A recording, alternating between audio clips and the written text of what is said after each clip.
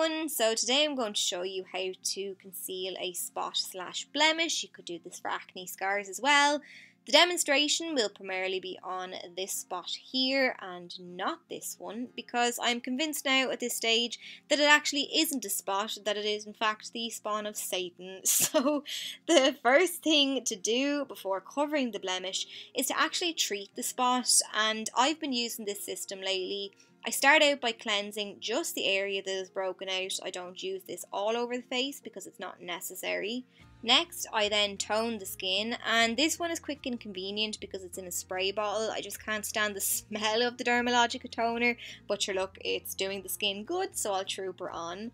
And finally, then I use the breakout clearing daytime treatment, and I just pat this onto the blemishes and wait a couple of minutes for it to absorb into the skin. And then that's it for the treatment part. I included it just because personally I think it's important to treat the issue as opposed to just masking it. So now on to the makeup. I'm beginning by applying the Elemis Pro Radiance Illuminating Flash Balm and this is going to act as an illuminating primer. My skin can look quite dull at times so I want to give it a glow but along with that sometimes my spots can be dry and flaky so that's why I avoided using a mattifying primer and when it comes to applying this over the blemishes I literally just pat the product into the skin. Next, I'm going to do a little bit of colour correcting, and I know not so long ago colour correcting was very popular. People were dotting lavender shades, pinks, greens all over their face. Personally, I don't think the process is necessary for the majority of people, but if I do have a little redness that I want to reduce, I do use a green concealer because this neutralises it you literally want to apply the tiniest amount directly to the area and lightly blend it out. You don't want to go in heavy handed or apply this in areas that you don't actually need it because you'll end up looking like Shrek. And you can use your hands or your fingers to apply the product, whatever's handiest. Then I'm going in with the foundation and this is my Feel Good foundation. I love how this makes my skin look and I've actually gotten comments on my skin when I've worn this foundation which never happens. It gives a medium coverage and it's perfect for this look because if I went in with a full coverage foundation, a full coverage concealer and a full coverage powder, it'd all just be too much and the skin would look cakey. But I just get that on there. Technique wise, I'm using stippling motions and I'm just bouncing the brush off the skin skin. Next, I'm going in with one of my favourite concealers, the Catrice Liquid Camouflage one.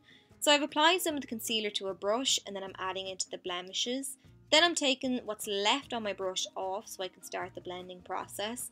But you don't want to apply the wand directly to the blemish because if you're applying the concealer to other areas of your face, you'll be spreading bacteria around and then when the wand goes back in the tube it's just contaminating the product inside so that's why I use a brush but I press the concealer directly onto the blemish and then I lightly blend around the edges and it just ensures that the most coverage is directly on the blemish so where I need it. The colour is quite important as well. Try to use one that matches with your foundation. If it's too light, it'll be counterproductive and it'll actually highlight the blemish, which we definitely don't want. But once I've blended out the edges with my small brush, I just press my foundation brush over the area and using whatever foundation is left on the brush to make sure that everything blends nicely into the skin. Now I'm going to lock those liquid products in place with a powder. This is another firm favourite. It's more or less translucent. Um, it's from Urban Decay and I lightly press this around the face and I'm being particularly careful when it comes to setting the blemish. I press opposed to sweeping and swirling my brush because that would move the products underneath and undo all of our hard work.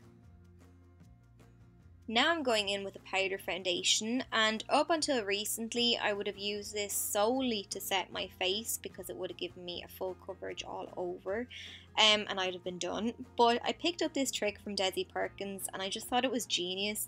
Desi uses a powder foundation on the skin around the blemish only to build up coverage in that area and it's a trick that's helpful if you have a spot that's raised. It kind of helps to level things out a bit and I do find it makes a slight difference so shout out to Desi, I'll link her video below. And just for consistency I've done the same around the other mountain but I'd hit pan on my powder before I'd even make a difference. But moving on, I like to set everything in place with a setting spray and this just ensures that nothing budges throughout the day, but it also helps take down that powdery appearance of the skin if you've gone a little bit overboard. But then that's it. So I mean obviously you can't cover up texture if you've erased a blemish like mine, but you can conceal pigmentation and make that less apparent and I do think there's a big difference before and after anyway. So I hope you picked up a few tips and tricks and I'll catch you soon.